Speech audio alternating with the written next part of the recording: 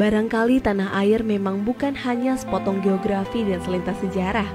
Lebih sekedar itu, tanah merupakan suatu potensi yang minta diaktualisasikan. Pada tahun 1947 dengan bukti eh, penempatan oleh Kanjeng Bupati pada waktu itu yang ditandatangani oleh eh, Kebetulan saya baru banget di Ngelo ini dan langsung di mendapatkan tugas eh, menjadi bagian dari penyelesaian kawasan Wonorejo ini bahwa segala sesuatu juga tidak bisa berdiri sendiri-sendiri. Semuanya tentu semua elemen, semua unsur harus saling dukung satu sama lain.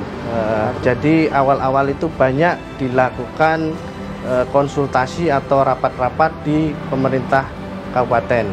Bukan hanya kepastian hukum bidang pertanahan, bertujuan menciptakan keadilan dalam bidang pertanahan juga adalah cita-cita besar kami, Kementerian ATR BPN.